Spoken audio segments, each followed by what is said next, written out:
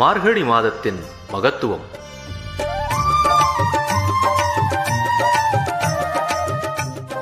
நமக்கு ஒரு வருடம் என்பது தேவர்களுக்கு ஒரு நாள். தை மாதம் தொடங்கி ஆணி வரை அவர்களுக்கு பகல் பொழுதாகவும் ஆடி மாதம் முதல் மார்கழி வரை இரவு பொழுதாகவும் அமையும்.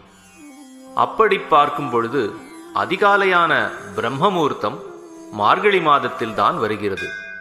தேவர்களுக்கே பிரம்மமுகூர்த்தமாக இருக்கிறபடியால் மார்கழி மாதம் மானிடர்களுக்கு மிகவும் சிறந்ததாக சாஸ்திரங்கள் மற்றும் புராணங்கள் கூறுகிறது. மாதங்களில் நான் மார்கழியாக இருக்கிறேன் என்று பகவத்கீதையில் பகவான் ஸ்ரீ கிருஷ்ணனே கூறியிருக்கிறார். எனவே மார்கழி மாதத்தில் அதிகாலையில் ஆலய வழிபாடு தொடங்கிவிடும். திருப்பாவை திருவெம்பாவை திருப்பள்ளி எழுச்சி என அனைவரும் கூட்டு பிரார்த்தனையாக இறை சிந்தனையில் ஆழ்ந்து விடுவார்கள்.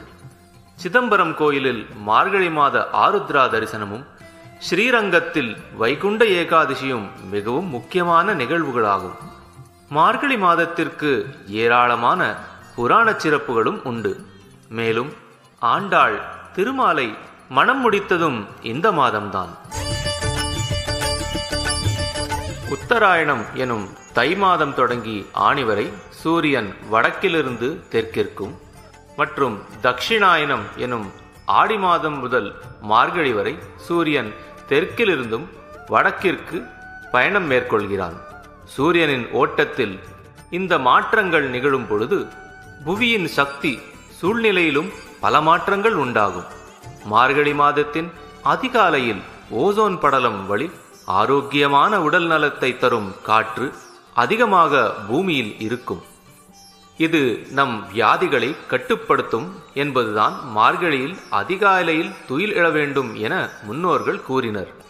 அதிகாலையில் எழுந்து கோலமிட்டு சாணத்தால் பிள்ளையார் பிடித்து வைத்து பூக்களால் அலங்கரித்து மார்கழி மார்கழி வரவேற்பு. மார்கழி திங்கள் மதி நிறைந்த நன்னாளால்